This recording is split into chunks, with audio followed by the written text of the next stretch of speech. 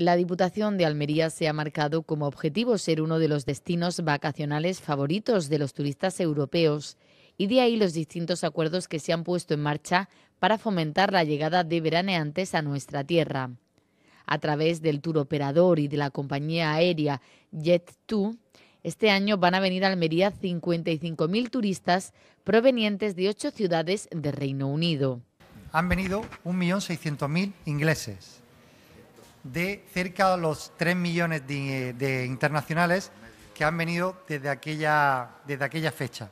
Y sin embargo, bueno, sin embargo no, de, los 3 millones de, turismo internacional que ha venido a nuestra provincia, 1.600.000 son de Reino Unido.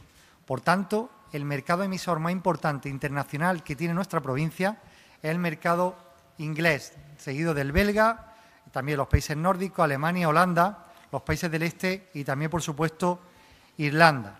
Este número tan importante de turistas va a suponer el ingreso de más de 40 millones de euros en la provincia.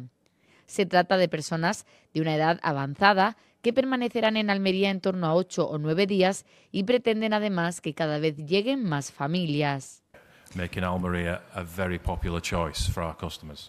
en 2018, añadiendo estos tres aeropuertos que hemos mencionado anteriormente, tenemos un portafolio de ocho aeropuertos británicos eh, que son Edimburgo, Newcastle, Manchester, Leeds, Belfast, East Midlands, Birmingham y Londres Stansted, lo que es un abanico que permite a nuestros clientes volar casi desde cualquier parte del Reino Unido al destino de Costa Almería. Desde el año 2011 han llegado a nuestra provincia más de 3 millones de turistas de carácter internacional y el mercado que más nos favorece es el británico, por lo que acuerdos como este son muy positivos para Almería.